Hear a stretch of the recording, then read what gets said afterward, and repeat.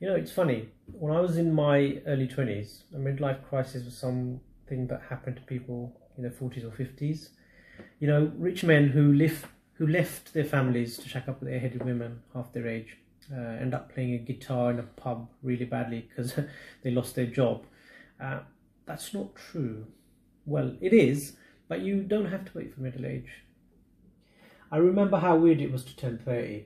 Suddenly, I wasn't young anymore, but my life wasn't really all that different. I think that's the thing that scared me.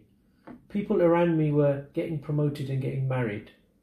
Two of my best friends were now fathers, and they hadn't rushed into it either. I was still only just earning my age in thousands, 30 grand a year, doing a job I vaguely liked, but not really going anywhere fast. I told myself no one really was because the credit crunch and all of that had slowed things down, but it was only partly true. The truth was, I didn't know where else I was supposed to go. By 32, the job was doing my head in.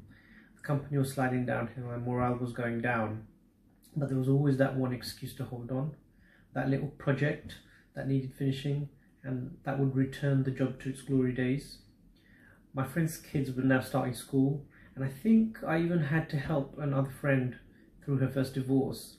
And here was I, still single, no kids, and even the career was going downhill. I think that's about the time I began looking back on former crossroads and paths not taken. The path of least resistance is what had led me here.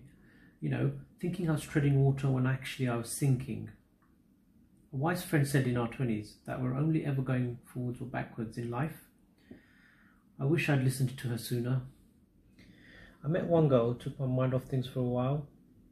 We were on and off for a bit. Her life was pretty similar to mine, hence we gelled on a number of levels.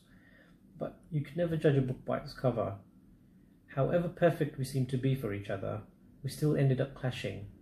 She was part of a world I should never have been in, and I think both of us knew it. The next girl I met was just a friend, but she changed everything. She was part of a world that I wanted to get into.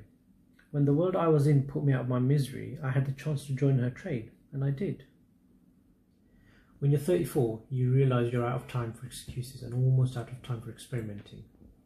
I feel older on every night out. My body and my liver can't take it anymore. Most of my friends don't have time to socialise except in couples. I value the ones that still do.